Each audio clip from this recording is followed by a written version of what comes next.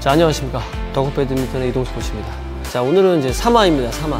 여성분이시고요. 가지고 있는 힘에 비해서 스매시 파워가 좀 너무 약하셨던 분. 어, 제가 교정한 거 영상 한번 보여드리도록 하겠습니다. 짜자잔. 제가 이거는 양쪽으로 이렇게 분할해서 좀 보여드리도록 할게요. 이렇게 보시면, 그렇죠. 음. 아이고, 죄송합니다. 하잖아요, 지금. 어? 이 스매시 방향도 좀 조절이 안 되는 겁니다. 이거 봐보세요. 이렇게. 교정션. 아. 자, 교정 후. 그렇죠. 조금만 더 뻗어볼게요. 조금 더, 조금 더 타점을 위로 던져야 되는데, 음.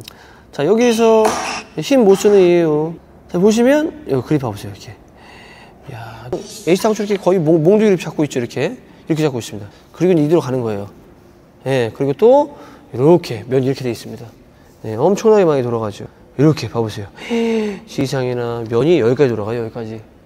아니지, 이면을 쳐야 되는데, 여기까지 돌아가요. 그립을 어떻게 잡았다는 거야. 이렇게 해서 파워 이렇게 어떻게 칩니까? 자, 그리고 이제 교정 후에 보면은, 어, 깔끔하죠. 그립 봐보세요. 이렇게 탁.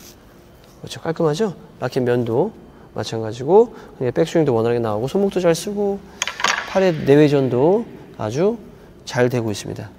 자, 다시 한번 봐볼게요. 전. 자, 후. 음. 조금 더 팔이 뻗어져야 돼요. 약간 아쉬워요, 근데 아직은. 예. 많이 좋아졌죠? 제가 이거 사진으로 한번 보여드리면 이렇게 되는 거예요. 예. 첫 번째 사진, 두 번째 사진. 여러분들 지금 봐보세요. 첫 번째 사진 지금 이러고 있는 거, 이러고. 이렇게 있는 겁니다, 이렇게. 이렇게 그립 돌아가죠? 이렇게 있는 거, 이렇게. 예. 두 번째 사진은 지금 준비 그립 상태로 그립 별로 안 돌아간 상태로 그냥 그대로 있죠, 이렇게. 이렇게. 그렇죠? 첫 번째는 이렇게 있고요. 야, 얼 이렇게 스매시 어떻게 때려요, 이거? 예. 자, 이런 내용이었고요. 그래서 힘을 잘 쓰고 악력을 잘 사용하고 이 큰 스윙 할 때 여기 악력, 여기, 여기 특히 이게 세 손가락 되게 중요하단 말이에요. 요, 요, 요 세 손가락. 여기 파지 떼는 게 되게 중요합니다. 요 세 손가락 힘이. 근데 요, 요, 이런 그립을 잡게 할 수 있는 거는 그립이 많이 돌아가지 않아야 된다. 제가 매번 말씀드리는 거예요. 그립 많이 돌리면 안 된다. 그래서 그립 교정하고, 그 다음에 손목, 어, 스냅으로 또 이제 교육해서 스윙 궤적 자체가 아예 이제 변하신 어, 여성분이었습니다. 지금은 원래 치시던 거에 파워도 굉장히 많이 좋아지셨고요. 예, 본인도 아마 잘 느끼실 거예요. 자, 여러분들 중에서도 자, 내가 굉장히 힘은 좋은데 파워가 어, 내 생각대로 나오지 않는 분도 계실 거고요. 내가 좀 힘은 좀 남들보다 약한 편인데 어, 스매시를 좀 파워를 좀 세게 또 때리고 싶은 분도 계실 거고요. 여러분들 그런 거 있잖아요. 초등학교 뭐 요만한 어떤 선수들 보면은 어, 실제로 이게 80이면 팔 힘이 성인보다 많이 세지 않거든요. 근데 오히려 스매시 파워는 더 세요. 클리어도 더 빵빵 멀리 나가고 결국에 어, 내 힘만으로 치는 건 아니다.